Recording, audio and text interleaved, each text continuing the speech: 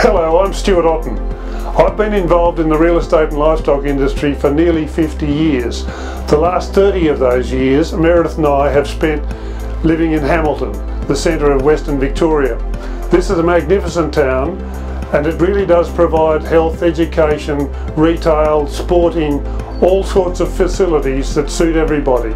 We love Hamilton and are very, very fortunate to have spent our last 30 years here.